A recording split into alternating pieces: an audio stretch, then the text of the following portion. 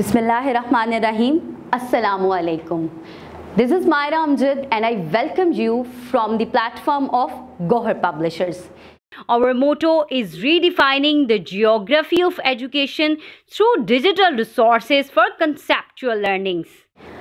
Dear teachers, आज हम discuss करेंगे क्लासिफिकेशन ऑफ लिविंग ऑर्गेनिजम्स को आज हम सीखेंगे कि हमने ऑर्गेनिजम्स को क्लासिफाई कितने ग्रुप्स में किया है और क्या वजह थी कि हमने तमाम लिविंग ऑर्गेनिजम्स को क्लासिफाई करने की ज़रूरत महसूस की। टीचर्स आप स्टूडेंट्स के अंदर इस कंसेप्ट को बिल्डअप करेंगी स्टार्ट करेंगी इस तरह से कि आप स्टूडेंट्स को बताएँ कि हमारे पास इस अर्थ में वेराइटी ऑफ़ लिविंग ऑर्गेनिजम्स मौजूद हैं। लेकिन हम अगर उनमें से किसी लिविंग ऑर्गेनिजम्स को नाम देने की कोशिश करें, या अगर हमसे कोई पूछे कि can you name the living organisms तो हम हार्डली हंड्रेड्स या thousands which is not possible but we can only name hundreds of living organisms sometimes we cannot even name all the types of cats around us. तो आप students के अंदर ये concept buildup करें कि हम classification क्यों करने जा रहे हैं। आप स्टूडेंट्स को बताएँ कि हम किसी भी लिविंग ऑर्गेनिज्म के नाम को तमाम लैंग्वेजेस में नहीं बोल सकते। लाइक like, हम पाकिस्तान में कैट को बिल्ली कहते हैं। लेकिन अगर आप स्वीडन में जाकर किसी से कहेंगे कि हमें बिल्ली चाहिए दे विल नॉट अंडरस्टैंड आप स्टूडेंट्स को इस तरह से रिक्वायरमेंट ऑफ़ क्लासिफिकेशन समझाएँ कि हमने क्लासिफिकेशन का जो कंसेप्ट है वो इसलिए इंट्रोड्यूस करवाया है कि एक साइंटिफिक एक स्टैंडर्ड नेम जो कि पूरी दुनिया में आप किसी भी कंट्री में इस्तेमाल कर सकें तो पीपल अंडरस्टैंड करें कि हमें क्या चीज़ चाहिए या हम किस लिविंग ऑर्गेनिज्म की बात कर रहे हैं। तो डियर टीचर्स इस ज़रूरत को लेकर चलते हुए हमने क्लासिफिकेशन के सिस्टम को इंट्रोड्यूस करवाया, जिसको हम एक्चुअली टेक्सोनमिक क्लासिफिकेशन सिस्टम कहते हैं। इस तरह से आप स्टूडेंट्स के सामने वेब बनाए, जिसमें आप स्टूडेंट्स को फाइव किंगडम क्लासिफिकेशन सिस्टम से इंट्रोड्यूस करवाएँगे। आप एक वेब ड्रॉ करें।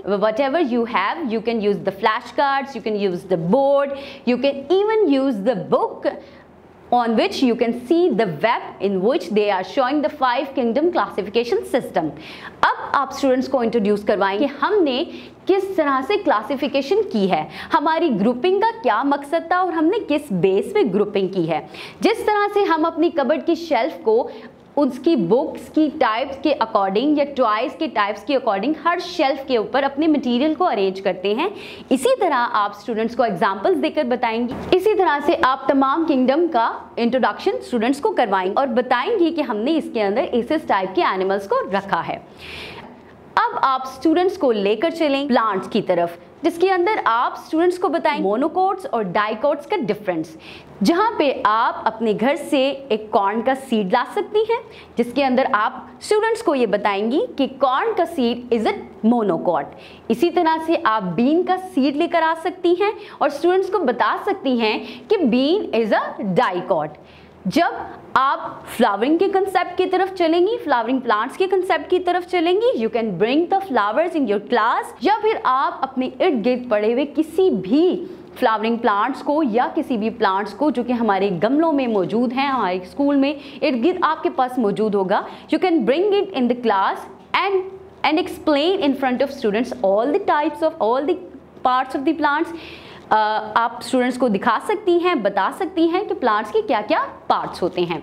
इसके अलावा जब आप एनिमल के कंसेप्ट की तरफ़ जाएँगी, जहाँ पे आपने वर्टिब्रेट्स और इनवर्टिब्रेट्स को स्टूडेंट्स के सामने डिफ्रेंशिएट करना है, आप फ्लैश कार्ड्स का इस्तेमाल कर सकती हैं।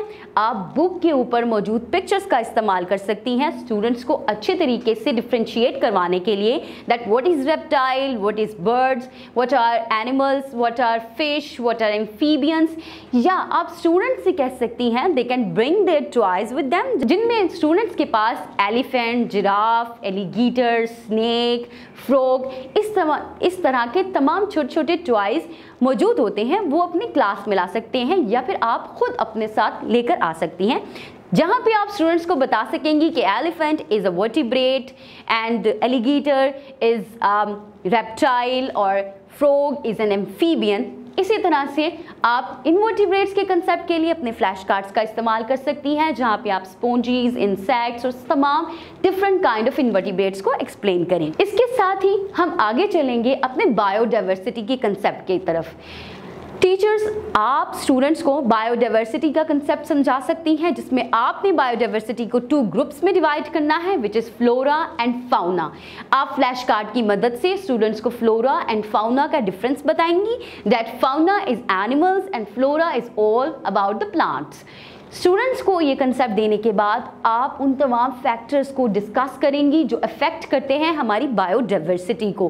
वो तमाम ह्यूमन एक्ट्स जिसकी वजह से हमारी डाइवर्सिटी डिस्टर्ब हो रही है, हमारी स्पीशीज़ इंडेंजर हो रही हैं तो आप इस कंसेप्ट को लेकर चलेंगी इंडेंजर्ड स्पीशीज़ की तरफ़। जहाँ पे आप स्टूडेंट्स को बताएँ कि वो स्पीशीज जो ख़त्म होने वाली है या जिसकी पैदावार ख़त्म होने वाली है, उसको हम इंडेंजर स्पीशीज़ कहते हैं। इस तरह से आप स्टूडेंट्स के अंदर बायोडाइवर्सिटी और इंडेंजर स्पीशीज़ के बारे में इंटरेस्ट डेवलप करें और स्टूडेंट्स को इफेक्ट्स बताएँ, वो फैक्टर्स बताएँ जो हमारी बायोडाइवर्सिटी को अफेक्ट करते हैं।